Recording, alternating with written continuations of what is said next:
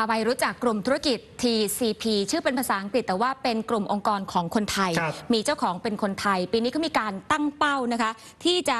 ดันยอดขายให้เติบโตมากกว่านี้ถึง 3 เท่า ไปติดตามจากรายงานค่ะ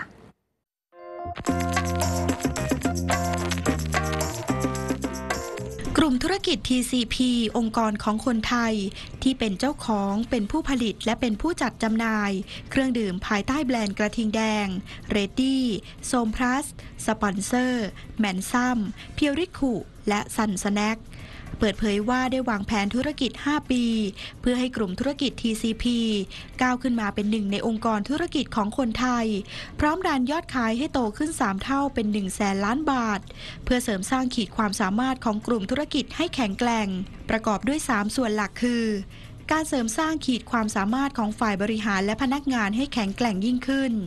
การขยายและพัฒนากำลังการผลิตและพอร์ตโฟลิโอของสินค้า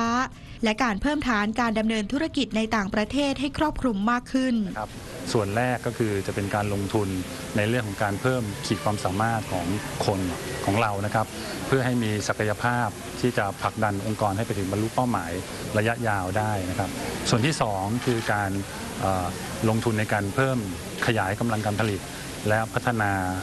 ผลิตภัณฑ์เพิ่มพอร์ตโฟลิโอสินค้าของกลุ่มธุรกิจ TCP ครับส่วนที่ 3 การลงทุนคือออการเพิ่มฐานที่มั่นของเราในต่างประเทศนะครับให้ให้มากยิ่งขึ้นนะครับโดยเรามีเป้าหมาย 5 ปีนี้นะครับเราอยากได้เป้าหมายเพิ่มยอดขายเป็น 3 เท่าตัว โดยเราคาดว่าณสิ้นปี 2565 นะครับเราน่าจะบรรลุยอดขายทั้งสิ้นคือ1แสนล้านบาทครับ อีก 5 ปีข้างหน้ากลุ่มธุรกิจ TCP